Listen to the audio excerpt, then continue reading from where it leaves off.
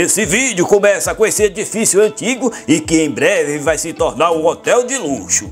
Aproveitando o embalo, vamos mostrar outros prédios antigos que foram restaurados e estão operando como hotel, como é o caso do prédio onde funcionava o Jornal à Tarde, esse outro prédio na Rua Chile que já foi hotel e ressurgiu com todo o glamour dos anos 30. E o Convento do Carmo, na região do Santo Antônio Além do Carmo, que já operou como hotel, mas que... Bem, daqui a pouco eu vou falar o que aconteceu com esse imóvel. Tudo na região do centro histórico da cidade de Salvador e é um vídeo rápido para você que já acompanha esse trabalho aqui na comunidade VDS. É nesse espaço que falo de arquitetura e construção, de transformações de prédios antigos em acomodações de luxo como essas, falo de mobilidade urbana, fotografias e imagens aéreas, de cultura e tradição desse planeta chamado Bahia. É essa terra linda que eu amo de verdade e que faço questão de documentar aqui nesse canal. Se você já acompanha meu trabalho, já sabe como funciona a coisa por aqui. Eu não costumo deixar passar nada despercebido, nem passar a mão pela cabeça de ninguém. E para você que não sabe como é o ritmo daqui, só tem um jeito de você entender esse processo. Aí, jovem, você vai ter que se inscrever e ativar o sininho para não perder nenhum capítulo dessa novela da vida real. E deixa pedir um favor, sei que você vai acabar esquecendo, então já deixa o like no vídeo que é para ajudar na divulgação do meu trabalho.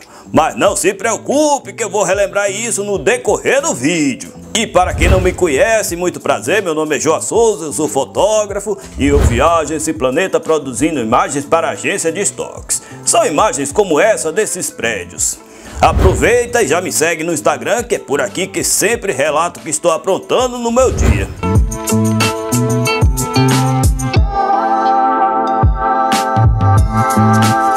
Mas o negócio é o seguinte, estou na Praça Tomé de Souza, ao lado do elevador Lacerda, esse monumento de 72 metros de altura que faz a ligação da cidade alta para a cidade baixa, em Salvador, da Bahia de Todos os Santos. Mas o nosso objetivo não é falar desse cartão postal da nossa cidade. Vamos falar de outro monumento que fica bem ao lado. Esse aqui é o Palácio Rio Branco.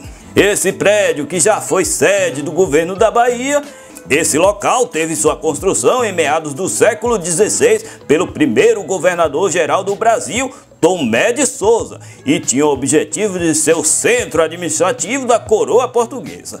Mas isso quando o nosso país era colônia de Portugal.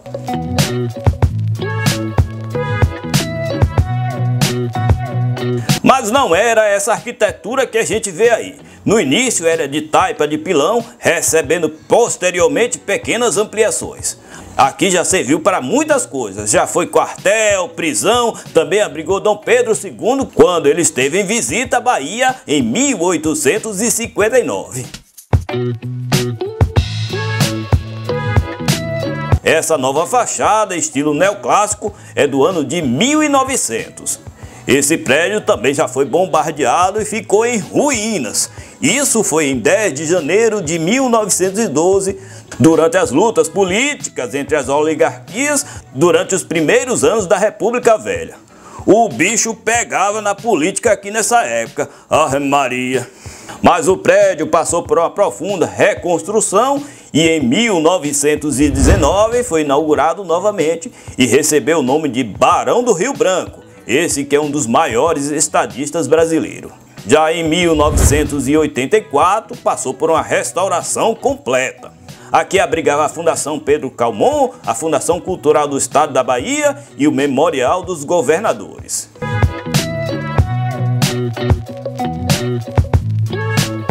Mas em breve esse prédio vai ser um hotel de luxo.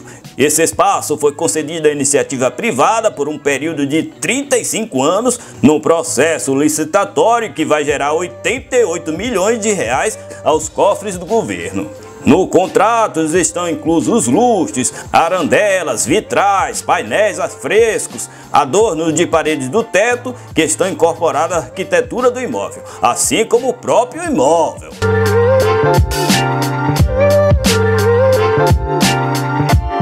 Mas esse não é o primeiro imóvel a se transformar em hotel aqui nessa região. Essa aqui é a estátua do poeta Castro Alves, na praça que leva o nome do poeta. Só para você se localizar, era nessa praça que aconteciam os encontros dos trios elétricos no carnaval, nos anos 80 e 90. E o carnaval daqui era pura potência, diferente de hoje, que não é lá essas Coca-Cola toda não. Mas deixe quieto, depois eu falo sobre isso.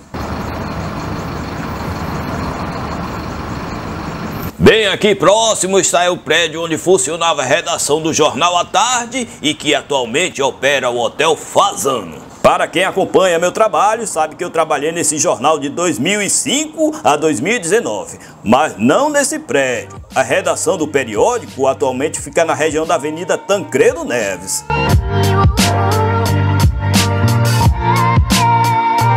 Mas esse edifício, que é de 1930 e que tem uma linda vista para a Baía de Todos os Santos, é tombado desde 2013 pelo Instituto de Patrimônio Artístico e Cultural da Bahia como Bem Cultural da Bahia. A redação do A Tarde funcionou aqui até o ano de 1975.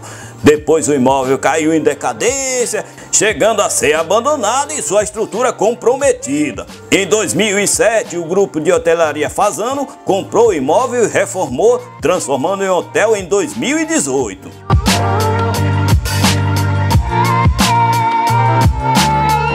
Aqui de cima podemos ver a piscina e toda a vista do centro de Salvador. E eu sou fã dessa cidade, não me canso de falar isso. E quando eu gosto, eu gosto mesmo. E mais alguns metros adiante, na rua Chile, está o Fera Palace Hotel. Esse prédio antigo já funcionou como Palace Hotel, mas estava meio acabadinho e fechado. O imóvel foi comprado em 2012 e passou por uma enorme restauração da sua estrutura e também das suas instalações elétricas, hidráulicas, reforço na estrutura e o Fera Palace Hotel surge em 2017.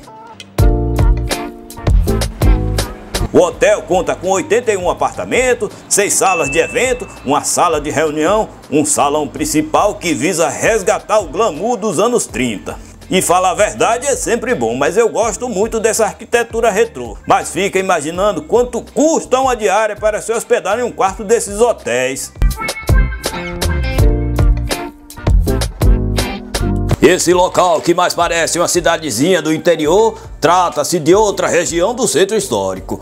Aqui é o Santo Antônio Além do Carmo. É nesse local que fica o Convento do Carmo e também abrigava um hotel de luxo. Aqui funcionava o Pestana Convento do Carmo Hotel e como o próprio nome diz, era um convento que recebia clientes requintados aqui no centro antigo de Salvador. O hotel fechou as portas durante a pandemia. Atualmente o imóvel passa por uma requalificação e será reaberto.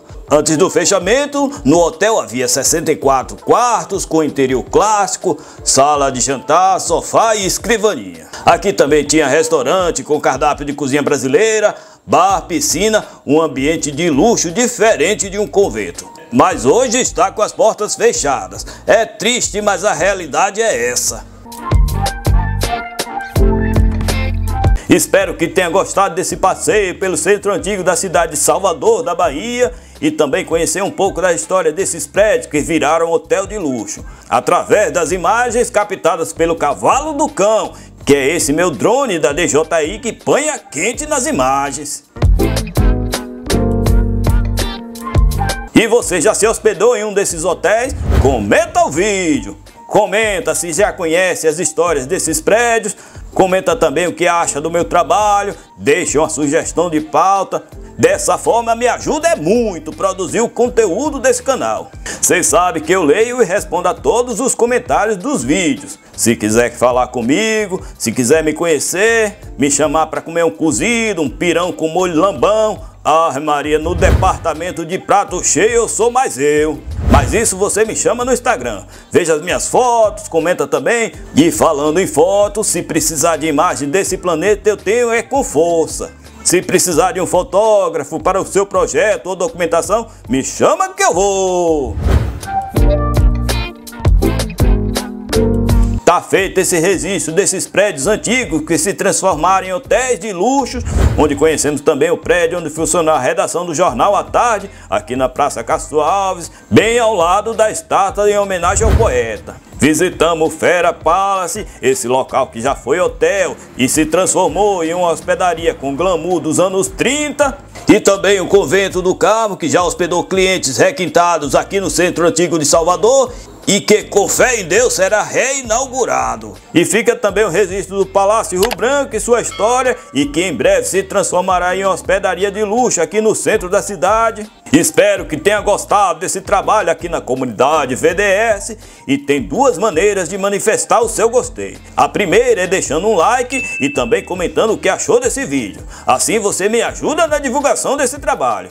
E a segunda forma é fazendo uma oferta no valor que você achar justo. Essa quantia ajudará nas despesas de produção desses vídeos, como deslocamentos e outras coisas mais. E nem precisa ser muito, coisa simbólica mesmo, tipo dois reais, cinco ou dez reais, o valor que você achar justo e merecido. Mas se quiser chegar firme com a quantia mais generosa, tipo o valor de uma diária para se hospedar em um desses hotéis citados no vídeo, venha com todo o gosto, que eu me empolgo a produzir vídeos para contar mais histórias da nossa Bahia. E pode ser por Pix, Paypal ou um valeu demais aqui no YouTube. Tira a mão do bolso, jovem, faz sua presença. Não deixa a minha voz se calar que tenho muito a documentar nesse planeta chamado Bahia. E vontade de botar pocando é o que não me falta. Eu só não tenho é fundos para essa operação.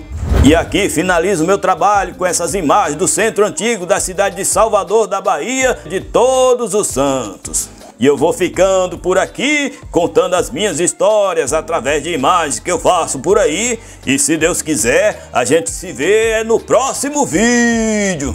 E veja também o registro que fiz de três cidades da Chapada Diamantina e veja a procissão do Domingo de Ramos pelas ruas do Centro Antigo de Salvador nesses vídeos sugeridos aí embaixo.